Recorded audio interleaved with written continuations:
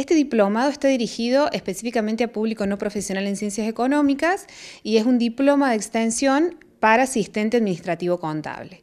Como se enmarca dentro de las actividades de la EGA, es que va dirigido específicamente a público no profesional en ciencias económicas.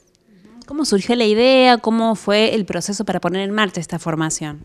Bien, nosotros desde el año 2015 estamos eh, llevando distintos cursos de formación, capacitación y talleres a público no profesional con, esto que es la EGA, ¿sí?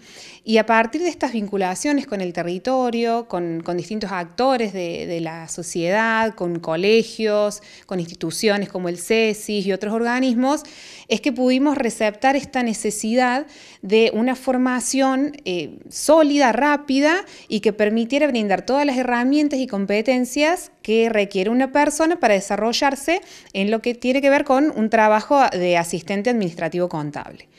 Es por eso que eh, también viendo esta cuestión de necesidad para poder insertarse en el mercado laboral y de eh, la, que la oferta brindada por otras instituciones educativas eh, es de elevado costo, es que dijimos, ¿por qué nosotros no podemos brindar una formación de este tipo y hacerla accesible a muchas más personas? Es así que surge esta propuesta.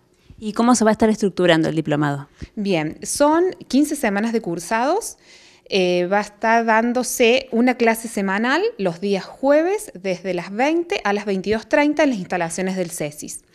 Este diplomado se eh, organiza en cuatro módulos. El primer módulo tiene que ver con lo que es comunicación oral y escrita con la idea de brindarles herramientas básicas para eh, todo lo referido a lograr una buena comunicación, cómo escribir una carta, cómo atender el teléfono, eh, cómo incluso también a la vestimenta sí que, debemos utilizar porque también comunicamos a través de nuestra vestimenta, nuestras acciones.